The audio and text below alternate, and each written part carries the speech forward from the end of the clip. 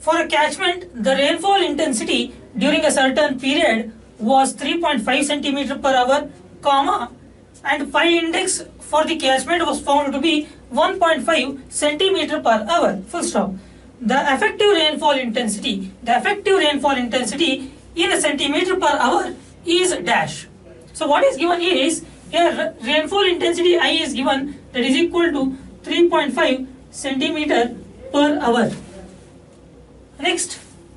Phi index is given as 1.5 centimeter per hour.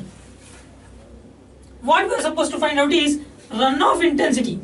Effective rainfall is nothing but runoff. So runoff we are not supposed to find it in terms of depth. He has asked in terms of intensity. So if we know the formula for phi index, phi index is equal to PE minus R divided by TE.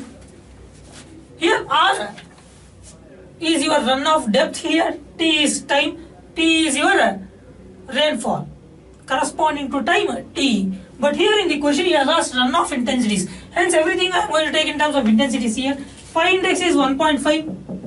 P I will take directly as I 3.5 minus R all divided by TE. Time TE is 1. I'll take 1 directly. So if you solve this, R you are going to get it as 2 centimeter per hour.